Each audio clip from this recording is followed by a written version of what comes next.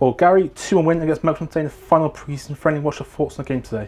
Yeah, it was good. It was a good competitive game. Um, like I said, I think if we'd have we'd have taken our chances, we probably could have could have won by more. But um, but yeah, it was it was a, a, really good and competitive game, and, and it was nice to to have some like I say some things to work on out of possession as well. So um, good to get through into the, the, the, the, crux of the actual season now though and get pre-season out of the way. I know every every manager will say it, but um, it's it's it's like I say, it's about getting through pre-season without any more injuries for us. So mm. we're pleased, and, and, like I said, there's a little bit of silver at the end of it. But uh, yeah, good a good outcome today. So we're really pleased. On the injuries, also, what's the latest on um, Tom and Evans? Obviously, Luke Spokes and Hayner.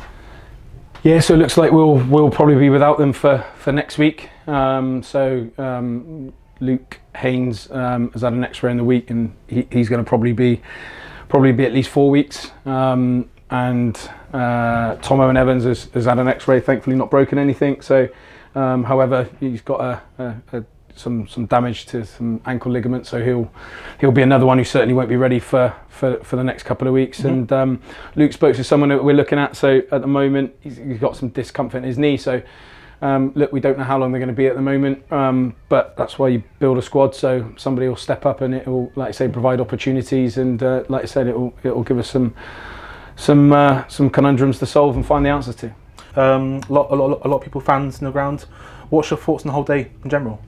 Yeah, no, as you said, look, it was great to see um, great to see so many um, families and, and young children in there as well. So so that was great. It was it, it was good. You could certainly tell that, like I said, there was a bit of a uh, you know a bit of a, a, buzz around the place. So that was nice, and hopefully they enjoyed themselves um, before the before the kickoff and enjoyed themselves during it. We mm-hmm. you know we, we have said about trying to to get the next generation of fans through the door, and, and hopefully that's sort of one step towards it today. So.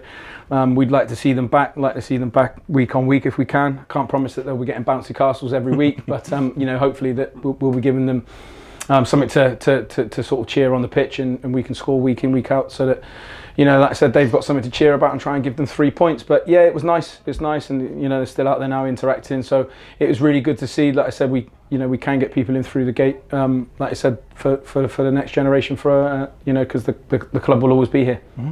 On, to, on to next Saturday, the first game in the National League season, South season at home to Aveley. What's your thoughts on that game on Saturday? It'll be a tough one because um, every game's tough in this league. Um, so they'll they'll come into it in, as a bit of an unknown, um, but they'll come into it with a lot of momentum and, and you know from, from last year really having come up through through the playoffs. So they'll come into it with confidence. I know they played today at, at, at Concord, so um, we'll we'll set up to prepare and do what we can next week. And but we'll you know as I said as we do most weeks we'll, we'll worry about them, but the main focus will be about what we do.